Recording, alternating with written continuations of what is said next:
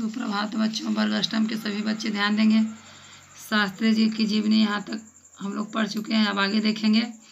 शास्त्री जी जब प्रधानमंत्री बने तो उन्हें सरकारी आवास के साथ ही इम्पाला सेवरले कार्ड भी मिली, जिसका उपयोग राजकीय अतिथियों के आने पर ही होता था।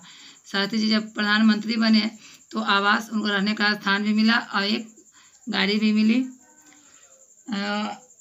उसका उपयोग कब होता था? राजकीय अतिथियों के आने पर ही होता था। यानी राजकीय कारोबार के कार्यक्रम के लिए होता था। आने जाने के अतिथियों के लिए एक बार सुनील वह कार ले गए। सुनील, उनका बेटा शास्त्री जी का लड़का एक बार वो कार जो पर्सनल यूज़ के लिए ले गए। शास्त्री जी को जब पता चला तो उन्होंने ड्राइवर से पूछा कि कार कुल कितने किलोमीटर चली? ड्राइवर ने कहा कि चौदह किलोमीटर चली है।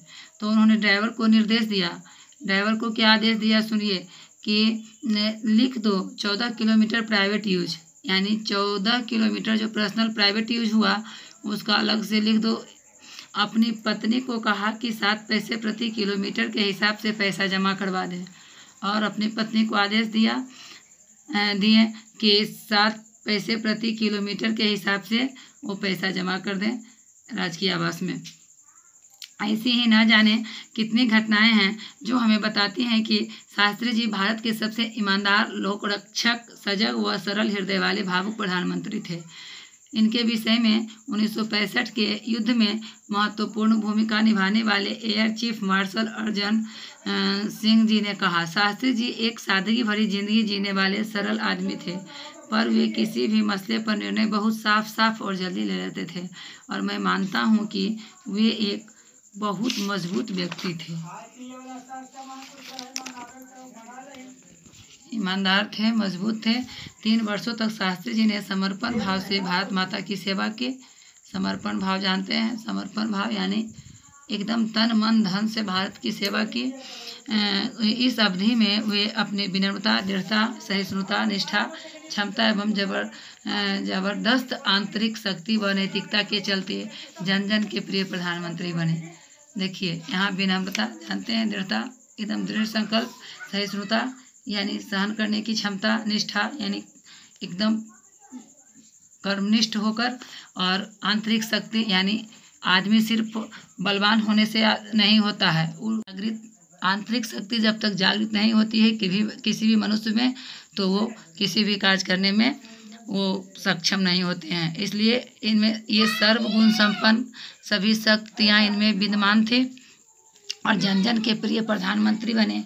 वास्तव में लाल बहादुर शास्त्री भारत और भारतीयता की शाश्वत पहचान है। शाश्वत मतलब क्या होता है? सदा रहने वाला, एकदम सत, सही पहचान है।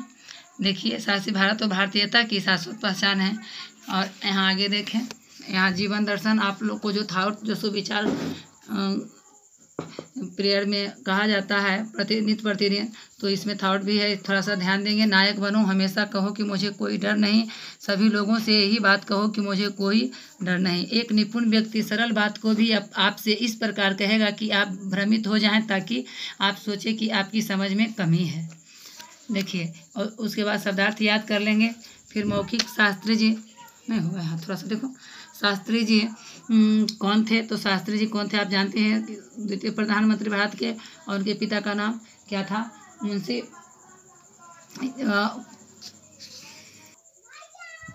शारदा प्रसाद श्रीवास्तव तथा माता का नाम श्रीमती राम दुलारी था। और अब फिर दूसरा क्वेश्चन देखिए। पिता की मृत्यु के पश्चात शास्त्री जी की प्राथमिक शिक्षा कहाँ हुई? तो जब दो वर्ष के बाद पिता की मृत्यु के पश्चात ये शास्त्री जी की शिक्षा अपने ननिहाल मिर्ज़ापुर में हुई। शास्त्री जी ने मंत्रिमंडल से त्यागपत्र क्यों दे दिया? तो उन्नीस इक्यावन में शास्त्री जी को मंत्री मंत्रिमंडल में शामिल किया गया था और उन्नीस सौ बावन में क्या हुआ कि इनके शासनकाल में, इनके रीजन में तमिलनाडु में हुई रेल दुर्घटना में, एक सौ बारह लोगों की मृत्यु हो गई रेल दुर्घटना से और नैतिकता के आधार पर ये क्या किए? उसी समय ये त्यागपत्र दे दिए हैं। फिर आगे देखेंगे, शास्त्री जी ने मंत्री, मंत्रिमंडल से त्यागपत्र ये जान गए हैं। रूस और अमेरिका के आग्रह पर ताशकंद पहुँचे तो समझौता में, वार्ता में क्या कहा? तो ये रूस और अमेरिका जब पहुँचे तो शास्त्र, रूस और अमेरिका के आग्रह करने पर शास्त्री जी ताशकंद पहुँचे। और वहाँ क्या इसने कहा? स्पष्ट रूप में कहा कि जीती हुई ज़मीन वापस नहीं करेंगे। और फिर अंतर्राष्ट्रीय दबाव के चलते इन्होंने कहा, इन्हें कहना पड़ा कि मैं हस्ताक्षर ज़रूर कर रहा हूँ, पर यह ज़मीन कोई दूसरा आदमी ही लौटाएगा। आगे आगे के वीडियो में शास्त्री जी किस प्रकार के व्यक्तित्व के धनी थे? आप जानते हैं शास्त्री जी ने अपने नाम के साथ जुड़ा, जातिवाचक शब्द हटाकर क्या संदेश दिया? यहाँ पे सारे आपको आंसर या प्रश्न का हल मिल जाएँगे। थोड़ा सा कोशिश करेंगे आज के वीडियो में इतना ही।